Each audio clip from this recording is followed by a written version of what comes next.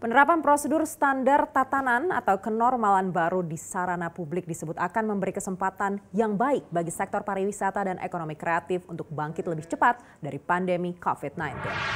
Presiden Joko Widodo meminta jajarannya mengidentifikasi destinasi wisata yang wilayahnya memiliki angka potensi penularan virus corona di bawah satu. Nantinya dengan berbagai persiapan dan penerapan protokol kesehatan yang ketat, destinasi wisata bisa dibuka bertahap Jokowi juga meminta adanya strategi khusus promosi pariwisata di masa new normal. Menteri Pariwisata dan Ekonomi Kreatif Wisnu Tama juga diminta menyiapkan program promosi pariwisata dalam negeri yang aman dari ancaman virus corona.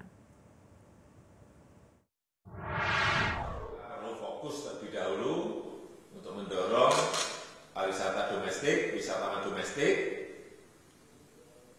dan untuk itu saya minta diidentifikasi daerah-daerah wisata, daerah-daerah tujuan destinasi wisata yang memiliki R0 di bawah 1, RT-nya di bawah 1, sehingga betul-betul uh, secara bertahap kita bisa membuka sektor pariwisata, tetapi sekali dengan pengendalian protokol yang ketat.